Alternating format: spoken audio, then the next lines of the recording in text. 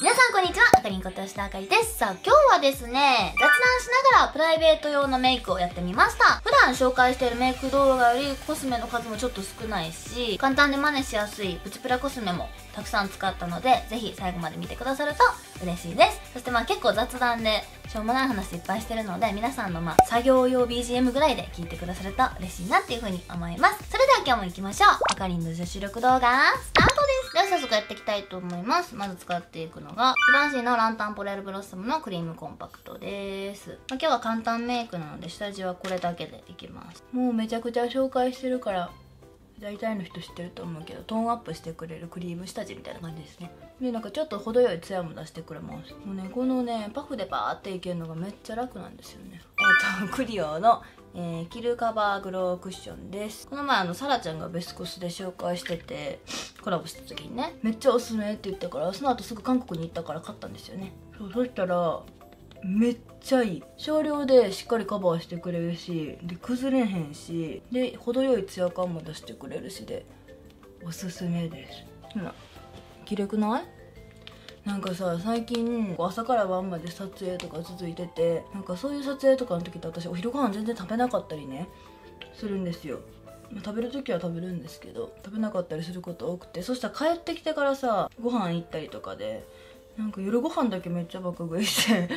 なんか体重は別に増えないんですけど少食生活やばくてなんか肌がかさついてるというか食べてるもんも別に普通にご飯やからいいんですけどうーんそう3食しっかりとると太るしかといってなんかそんな偏った食べ方しててもよくないですよねとか思いながら。でなんかお昼ご飯とか食べへんからなんかでもでもお腹は空くからそうカフェオレ飲んだりとかちょっとお菓子食べたりとかするからよくないよなと思いながらダメだなと思いながら毎日同じ仕事やってるわ。なんか食生活見られて私この辺のなんかくすみというかなんか色ムラというかが気になるんですよね。はいファンデーション終わりました。お仕事の日はねコンシーラーとかめっちゃ念入りにしてちゃんとするんですけど今日は別に顔が出ないお仕事なので 今日のメイクはまあ適当で大丈夫なんでパウダーいきます。イニスフリーのノーセバムミネラルパウダーですね。顔周りにまず塗っていきます。で鼻周りでこの辺にもさっとね。で眉毛。って感じ。そしたらシェーディング。 too cool for schoolのアートクラスバイロダンシェーディングです。うんうん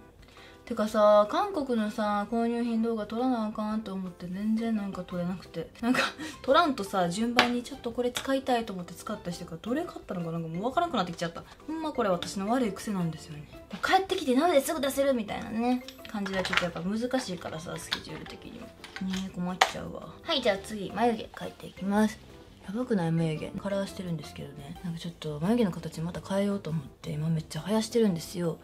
そしたらなんかもう大草原やんこれ。もっさもさ。眉毛はクリオのキルブローの、えーとアウトハードブローペンシルのライトブラウン2番のカラーです。これで平行に描いていきます。なんか皆さんね多分私の眉毛って結構細くて平行みたいなイメージだと思うんですけど元の眉毛って本当に超極太って感じ。だって見てわかると思うけどこんなところまで生えてるんですよ。下もこんなところまで生えてるんですよ。そう。だからね抜いたりね剃ったりしないと眉毛も本当に野原よ。そう。でもちょっと一回一回ちょっと生やしてみようかなと思って脱色だけしたんですよ。なんかちょっと太めのしっかり眉毛にしたくて今ね試行錯誤中。そうなんか眉毛サロンもね私あのサロン決めてなくていろいろ行ってるんですけどまあぶっちゃけ当たり外れ結構あるかも。うん難しい。なんかねあのなんか眉毛のサロンってなんかワックス脱毛みたいな感じなんですけどまずなんかしっかり眉毛の形を墨汁みたいな 濃いペンシルで眉毛の形を取られるんですよ。でこの形でいいですかっていうのをちゃんと決めてくれてそこから周りの毛をこうあったかいなんか液体のものをのせてそれでテープ貼ってペリッて剥がしていくみたいなワックス脱毛なんですけどそうそれが割と主流って感じなんだけど場所によってはなテープワックスとか塗らんとテープだけでベリベリっていくところとかあと形をあのしっかりそういうなんか墨汁みたいな太いので取らずにこの中から形を選びくださいみたいなプレートなんか3種類ぐらい見せられてでそこから選ぶっていう。私がなんか今まで行った眉毛サロンはそういうプレートとかじゃなくて私の形に私の顔の形に合ったものを選んでくれたんですけどプレートでやってくれるサロンとかもあってあなんか全然違うんだなと思って。でもそれってなんかそのお店のホームページとかそのホットペッパーだけじゃそこまで細かく書いてないか分かんないんですよね。だからもう行ってみてみたいなとこなんですけど。そうでもそのテープだけでやるところはやっぱりこう抜けが甘くてそう周りの毛があんま取れてなくて終わった後鏡見た時にあれ？ってあんまり眉毛なくなってないなと思って。ワックスでやってくれると眉毛が生えてくるスピードがやっぱ遅いんですね。しっかりなんかもう毛根からいってる感じがして。でもテープだとやっぱすぐ生えてきて1週間ぐらいしか持たんかったな今回の眉毛サロンはって感じ。で私こんだけ眉毛サロン行くってさめっちゃ言ってるじゃないですか。結構推してるからあの結構ファンの皆さんもどこの眉毛サロン行っても大体初めてのとこ行くようにしてるんですけどあの吉田あかりちゃんの見ていきましたって言言ってくれる人が多いみたいですごい店員さんも知ってくださってる方が多いんですよね。だから恥ずかしいよね。自分のこと知ってる人に眉毛抜かれるの恥ずくない？そうだから店員さんもなんかこんなんすごい勝手な話なんですけど私の。気づいてても気づいてないふうにしてほしい。あの気づいてなくて普通のお客さんっていうふうに接してほしい。もう恥ずかしいからもう眉毛。だって今眉毛抜いた人私のこと知ってたんやって思うと。恥ずかしいやん。あごめんなさい。パウダーね。パウダーはこう美声のカラーリングアイブロウパウダーの BR4 番です。ちょっとこの辺の色混ぜていつもふわっとぼかしてます。あー恥ずかしいやんな。でもやっぱさ最近の悩みだからどこの眉毛サロン行けばいいかちょっと分かんなくて今探してるんですよ。こういうね人前に立つ仕事している以上もう絶対にしょうがないことだしそうやって知ってくださってる方がねたくさんいるっていうのはすごい嬉しいことなんですけどね。ただちょっと恥ずかしいよな。何するにしてもっていう。やっぱ脱毛とかもあの自分がストラッシュっていうね脱毛サロンのモデルやってるからそこ行ってるんですけどやっぱ吉田あかりと思ってこう脱毛するのも恥ずかしいしあとお風呂屋さんとかもちょっとやっぱ行くの恥ずかしいもんななんか別にそんな私のこと知らない人がほとんどだと思うんですよでも前になんか温泉行った時に入浴中ですよ入浴中にもう言ったら裸なわけじゃないですか。ファンの人が、吉田あかりさんですよねって、裸の時に話しかけてきてくれはって、あ、ちょっとビューやってきますね。まさかさ、裸の時にさ、見られてると思わんやん？だからもう超恥ずかしくて、そっからちょっと温泉も行かねへんなーって感じかな。だってもう裸そんなんさ別に自分がさこういう仕事してなかったとしてもさたまたまさお風呂屋さんで友達に会っても恥ずかしいのにさファンの人に裸見られるなんてって話じゃないですか？はい。じゃあ、アイシャドウやっていきます。アイシャドウはこちら。これ最近めちゃくちゃ気に入ってるんですけど、クリオのプロアイパレットの、02番ブラウンのカラーですね。これめちゃくちゃ気に入ってます。韓国で買ったんですけど、特にここのカラーと、ここのカラーが好きでよく使ってます。まずじゃあこっちのこういう方のカラーね。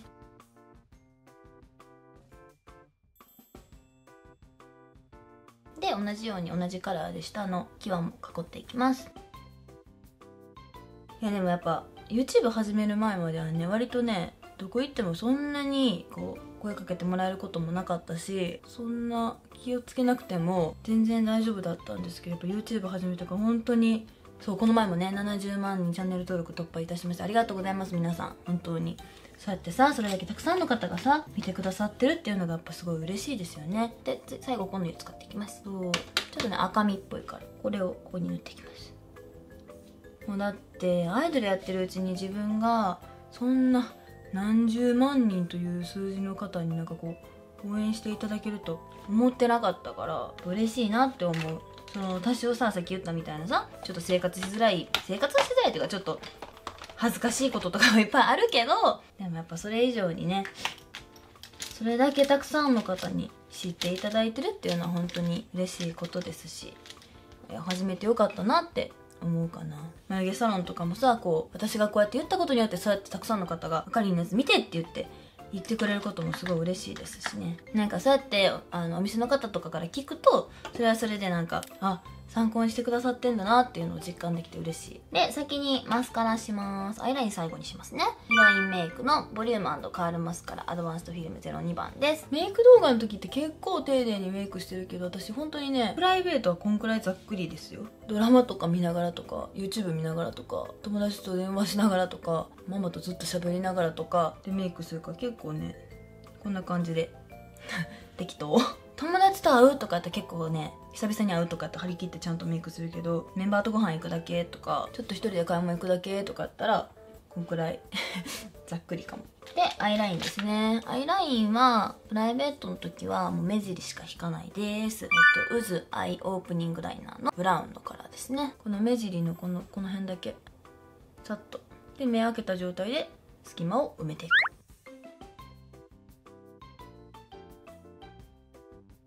こんな感じで割と適当。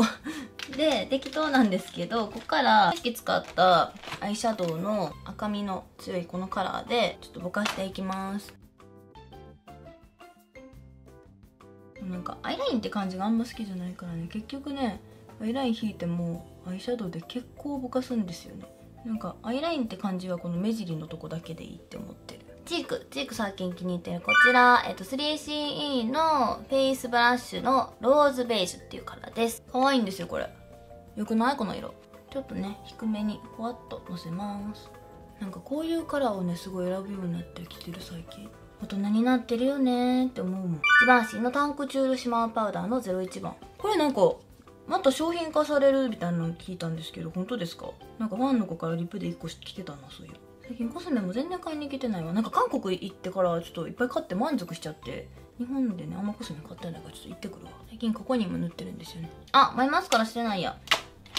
はい眉マスカラはちょっと最近髪色変えたのでケイトの 3D アイブロウカラーの BR3 番使ってます。いつも2番なんだけどね。はい、リップは私がプロデュースしている B アイドルのツヤプルリップの03番こなれベージュ使っていきます。結構プライベートねこなれベージュ多いかも。なんか仕事の時はオレンジとかほっとかないでレッドとかピンクとか多いんですけどプライベートベージュ多いかも。いやーでもいろいろ使うか。意外とさこう店舗の感じとか見たらベージュがなくなってることが多い気がする。でもね握手会とかしてるとピンクとほっとかないでレッドが人気やねんな。つけてる子が多いです。なんか前頭濃い？い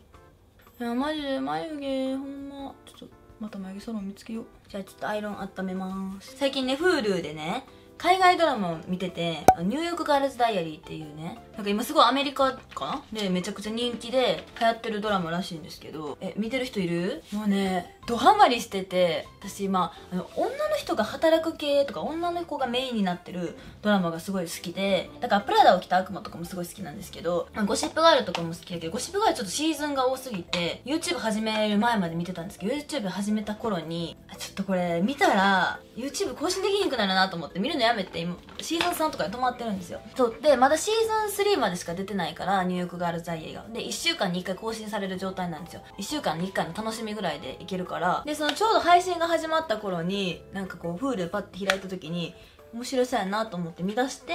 すごいハマったんですけどえ見てる人おらんかな？私はもうあれめちゃくちゃ面白い。大好きあのドラマ。今の生きがいやもん。あれが好きすぎて誰かと語りたいと思って、まあ、ゆうりというか私一緒にいること多いからゆりちゃんにあの勧めたんですよ。マジで見てほしいって言って。ほんまに面白いからって言ったらゆうりもハマってくれて最近2人でおったらもう見たはずの回を2回も3回も見てこのシーンのここが好きとかってモノマネするくらいめちゃくちゃハマってて今。私海外ドラマのあの吹き替え版の声とかが好きで。字幕だとさこう何かしながらとか見れないじゃないですか。だから絶対吹き替えで見るんですけどあの海外のおしゃれな絵とかちゃんと楽しみたいしなんかこう流行とかわかるからそういうのもちゃんと見たいなと思ってちょっとおしゃれなドラマ探してたんですけど。え見てる人おらんかな？ちょっと見てる人ちょっと私とツイッターで語り合おう。なんか海外ドラマとかさ見てたらさこうなんか内面が明るくなるんですよね。ちょうど「あなたの番です」もう今見てるんですけど。そう「あなたの番です」はちょっと一人で見るの怖いから誰かと一緒にそれこそなんかゆうりといる時とかあとマネージャーさんといる時とかにいるんですけど。マネージャーさんが「あなたの番です」めっちゃハマって見てて「願いから見てほしい。ほんまに面白いから」って言われて途中で遅れて見てるから間の話ちょっとちゃんと見れてないんですけど。いやでも大体のさあの話とか分かってきたからいいんですけどね。誰が黒なんだろうねあれも。前髪は最近